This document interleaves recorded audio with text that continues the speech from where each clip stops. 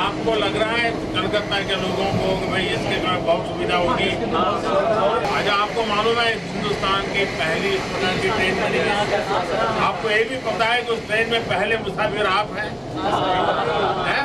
अच्छा आपको लगता है कि आप जैसे नौजवान मैं कह रहा हूँ कि ट्वेंटी फोर्टी सेवन तक देश को विकसित भारत बनाना है। इस पच्चीस साल में क्या काम ज़्यादा करना चाहिए? सर मेहनत सबसे ज़्यादा मेहनत मेहनत करनी चाहिए। अच्छा। सुबह जिम में मेहनत करनी चाहिए सर अपने लिए लिए और दूसरों के लिए पानी के नीचे जा रहे हैं आप लोग? कितना नीचे मालूम है? सर मीटर और मीटर नीचे टनल है।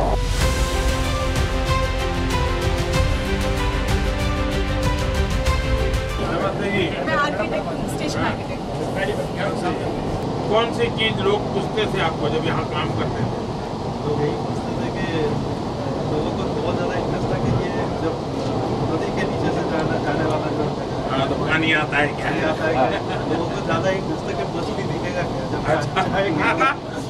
मछली बोले कि दिखेगा पकड़ नहीं पाएगा।